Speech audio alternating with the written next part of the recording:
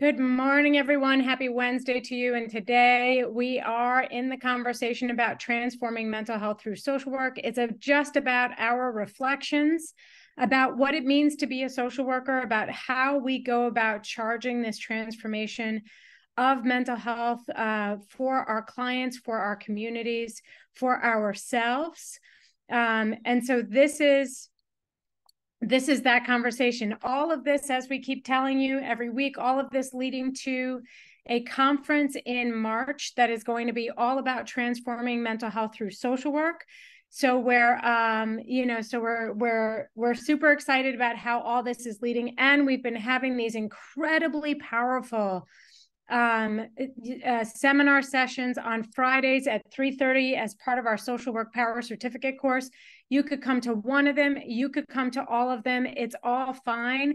Just come and be in the conversation. This last week, we had this amazing, amazing group of individuals, um, all taught from different walks of social work practice, from different walks of life, all talking about the experiences of imposter syndrome and how that has impacted their ability to really execute the totality of who it is that they are as social workers. And in that conversation about the experience of a lack of integration um, and and and and integration in terms of how you know there may be areas of our lives that we feel super competent um, and then areas of our lives where we don't and so those areas of our lives that we don't feel confident we collapse uh, social who we are as social workers into that um, and then that becomes the definition of how competent we are overall. And so we had, you know, we had a, a, a one of our one of our amazing community members, um, Ellen, who's 88 years old. She's the president of of a number of different things. Um, and really express that this is one of the things, you know, and and has her plaques and awards sort of in a box in the corner of her in the corner of her office. And everybody in the room had some level of connectedness to what she was communicating about myself included. Uh, my diplomas are in the basement in a box. So myself included that uh, you know that there is this uh, this lack of integration and what the impact of that lack of integration is on being able to truly execute who it is that we are as clinicians. And so the question then becomes because last time we were here we talked about um, imposter syndrome and self-doubt. So moving the conversation forward the questions then become and, and so the real intentionality in all these conversations is to be able to pose questions that allow us to think um, a little bit openly and a little bit more deeply and and pause long enough to to be able to consider what what the response to some of these questions would be and how those responses could fuel us to the next stage. So in the space of this lack of integration or this experience of self-doubt eh, who in who you are as a social worker perhaps that how that might translate into other areas of your life you know uh, these ideas of empowerment that sometimes can feel so big in those spaces, how then do we actually lead this transformation? How does that happen?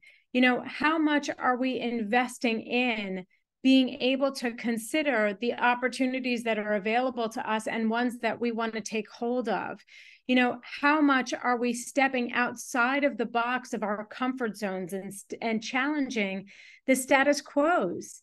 You know, status quos are there because they're familiar. It's easy to navigate, but it's also so easy to get ourselves sucked into it and and do business as usual.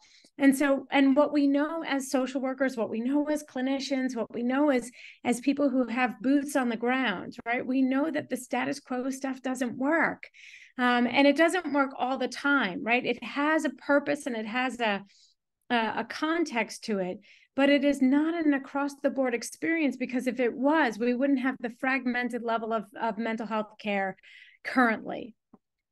So it really allows us when we are when we're handling all of these things and we are and and we want to make change in systems really taking a look look at these kinds of questions about how do we confront this status quo? How do we identify it too?